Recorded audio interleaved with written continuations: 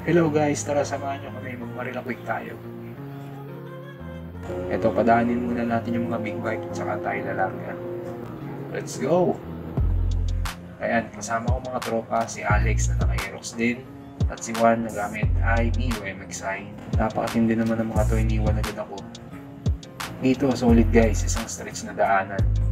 Gaspol tayo ng konti lang dahil maluwag naman yung daanan, pero siyempre doble ingat pa rin. Ayun na nga si Alex, bumaspol na lang todo. At eto, stopover muna kami saglit dito sa Wiwi Hill. Assemble muna at konting kwentuhan muna bago bumaspol ulit. Yan, gear up na ulit kami dyan guys. Let's go!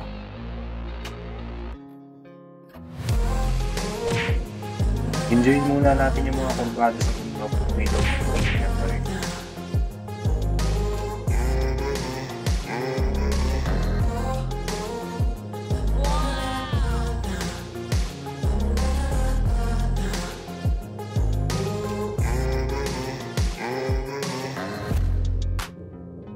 Second stopover, tatambay naman muna kami dito sa Mandukan para pag-usapan kung saan kami kakain. Eto, nakapag-desisyon agad kami. Dito kami kakain sa La Francos Veranda. Selfie muna para may remembrance syempre. Eto, tikman na natin yung sizzling sausage nila. Higop ng konting sabaw. Sarap siya. Yun lang guys. Literal na quick breakfast night lang to. Salamat sa mga nanonood. Bye!